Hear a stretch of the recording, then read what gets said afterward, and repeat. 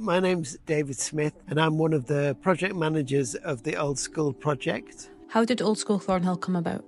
A number of us, people that had moved here to bring up families, people that have moved back here that went to school here. Around 2016, we used to drive past this building when it was empty and it was derelict. We'd all lived in cities and seen co working spaces, and we kind of thought this would be an amazing building to bring together people that work for themselves, creatives, the small businesses in Thornhill.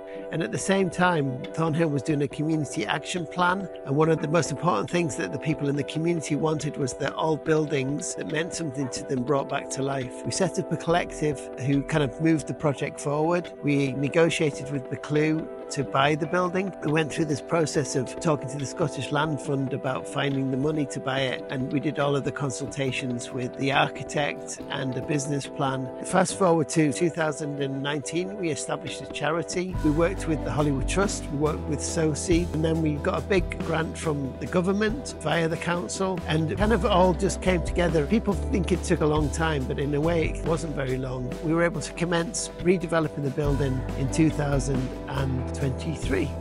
How does Old School Thornhill benefit the local community?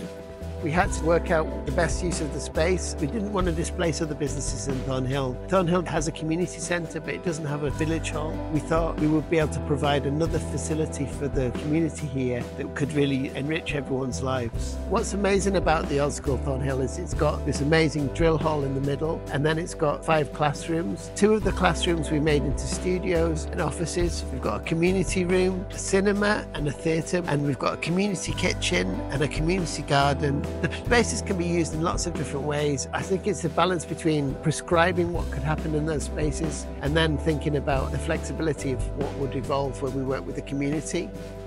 Hi, I'm Mia Osborne. I'm the Youth Engagement Coordinator for Old School Thornhill. My job is I work with young people at Wallace Hall and other young people in the village to establish a programme of workshops, events, and different activities. How do community spaces help keep people in or bring people to the region? I think community spaces really encourage people to interact within that community. A lot of places in Dumfries and Galloway feel quite isolated because of travel or lack of opportunities, so having really rich community hubs lets people gather, makes people feel more enthusiastic about their area and also see the possibilities of not necessarily having to travel or work in a big city. And I also think interacting with different members of the community from all walks of life is a really, really great way of collecting stories and figuring out what path that I want to take in life because you see other people and what they're doing. Young people want to consider lots of different options for their career, and I think that OST already showcases a number of businesses and a number of ways that you could live, and you could be creative or you could work in your rural community, you could have an impact.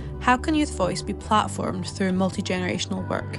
We have a youth committee which is made up of just under 30 young people, which are all from DG3 and different age groups within the schools, primary 3 to primary 7, and then first year to sixth year. And these are young people that have a varying different interests. They're not just creative types, they're not just entrepreneurial types, there's a wide range of interests. And I think a primary 5 might not feel as empowered to say their opinion or say, oh, I think we should do this. But alongside the guidance of older pupils, it helps build up enthusiasm and the ability to be able to speak about what you think and also be inspired by the people around you. We also have different professionals and people from Thornhill that come in to chat about what it is that they do and inspire young people and how to make a kind of viable career in a rural town or a rural village. What we want to do is make sure that the youth voice is heard and we want to give young people an opportunity to have autonomy. We found this project in the Highlands called Room 13 and we were inspired by that idea to create a space that could be managed by young people and that they could almost define.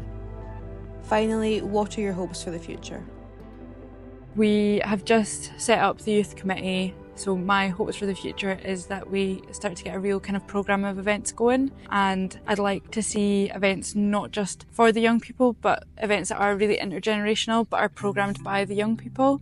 I'd also like to see more links between Old School Thornhill and the school and we're building those really, really strong connections at the moment. But it'd be great to do more work with the pupils and not just the committee pupils but pupils throughout Wallace Hall. I just want to see this space utilized in so many different ways. If we can create something that gives the community an opportunities to do new projects, to expand the range of things that are on offer in this village, and then we can also provide a base for different things to come to Thornhill so that actually they see what a great community is. It's just this really nice feedback loop where things are happening for the community, things are happening for young people, and we're just expanding the opportunities for things that happen here.